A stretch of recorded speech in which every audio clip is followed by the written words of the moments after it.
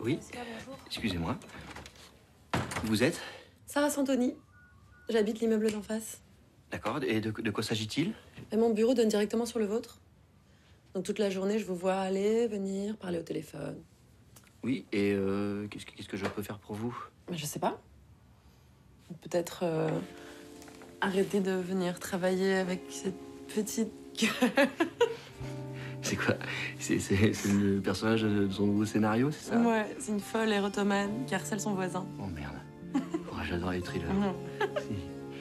Non, Il va pas Solange Hmm Non mais parle-moi, tu peux me parler.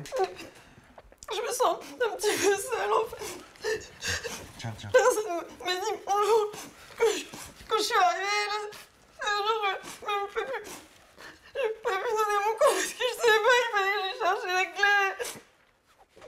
Mais tu sais que ça n'a jamais assisté à un de mes cours. Et elle m'a dit, elle m'a dit envoyer des mails par question. Je sais pas si j'arrive. Si je peux pas ou pas. je- Vous, vous comprenez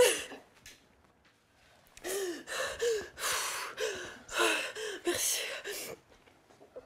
Ça va mieux, ça va- ça m'a fait du bien de parler, merci. Merci de m'avoir écouté. Allez, Jean-Louis Allez Allez, Jean-Louis Allez, Jean-Louis Allez, Jean-Louis Allez, Jean-Louis Ah ouais Ah d'accord. Allez, Jean-Louis On va quand tu lui montres à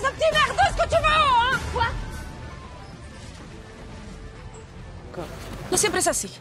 Solo cuando se cabrea. Ahora seguirá un rato más cabreado y después me pedirá disculpas. Pero tú tranquilo. Claro, Es un pequeño cabrón. dirás gran. Va, dis donc. Perdona, pero ¿tú has visto cómo se ha puesto?